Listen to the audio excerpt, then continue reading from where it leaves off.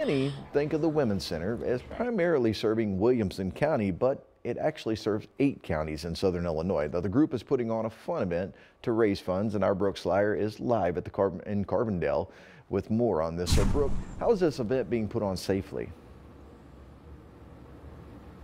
Good morning, Dave. Well, normally this event draws hundreds of people to the Carbondale Civic Center. Obviously, that cannot happen this year, so the event is going to be virtual. And again, you can go ahead and get those tickets right online at the Women's Center's website, but that's also where you can go ahead and do some bidding on some auction items. And here to tell me a little bit more this morning, again, is John Pfeiffer.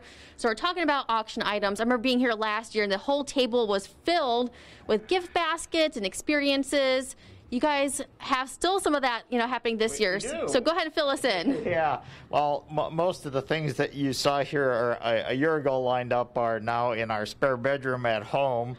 Uh, I take pictures of them and enter them into our app where people will do all of the bidding. But you know, we've we've made this progression over the last three or four years, sort of away from sort of more things as you know a lot of people are trying to declutter and things like that and and sort of move toward experiences dining experiences trips things like that. Uh, unfortunately those are the very businesses that have been hit the hardest over the last year. Uh, they're struggling. Uh, they want to help. Uh, so we've tried to do some creative things this year but uh, we're a little lighter than normal on our auction items. So. so. what he's trying to nicely say is if there's any businesses out there that would like to donate anything for the auction, to go ahead and contact them. Uh, that's yeah, that was Brooke who said that, but I concur because I always agree with Brooke. Uh, if, if, you have anything you'd like to donate, call the Women's Center at 549-4807. Ask for John, and I'll be happy to take those things off your hands and, and put them to good use. But you do have a couple of cool things. You're telling me about a trip to St. Louis that is available for this auction. Go ahead and fill those viewers in at home. Yeah, well, uh, we'll, we'll start with John A. Logan uh, every year from the president's office. Uh, regardless of who the president has been at John A. Logan, they give us a $1,000 tuition waiver uh, for the fall semester. And, you know, they're, they're super nice to work with. In fact, last year's winner uh, the, the class that they registered for an auto mechanics class in the fall.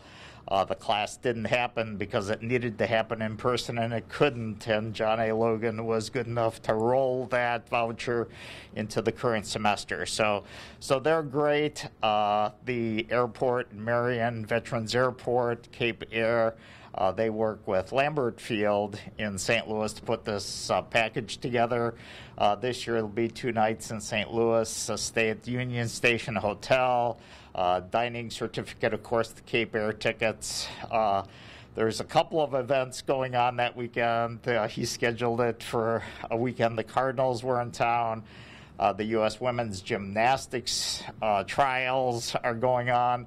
Uh, so if if, if fans are going to be allowed to those events, then they're going to try to add tickets a, as time progresses. So quite a few, you know, still good prizes out oh. there. And we're talking a little bit more about the prizes and, of course, the chocolate that's be coming up later on the show. But for now, back to you in the studio.